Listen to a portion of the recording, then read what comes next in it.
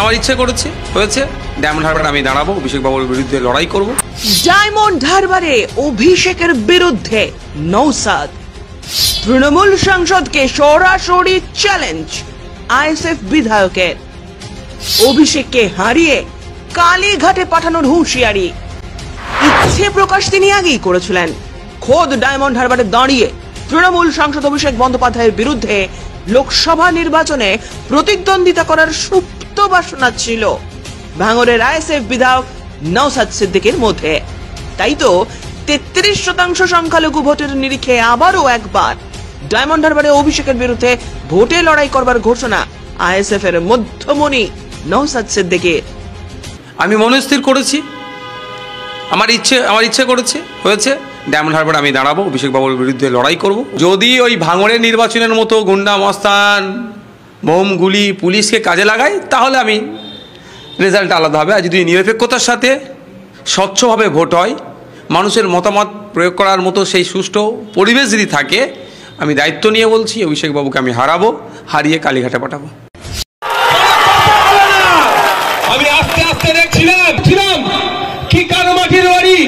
কার বাড়ির চাল ঠিকঠাক কার বাড়ির মাটির তারা মনে এই আবাস যোজনার প্রকল্পের মধ্যে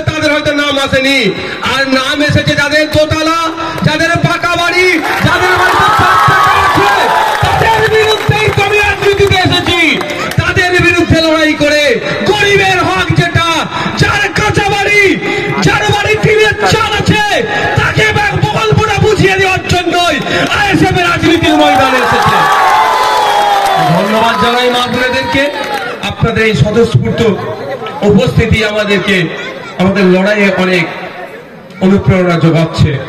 ধন্যবাদ জানাই। আইএসএফের বিধায়ক চোখে চোখ রেখে হকের কথা, ন্যায়ের কথা, অধিকারের কথা বলছে বলি ওনার কষ্ট হচ্ছে।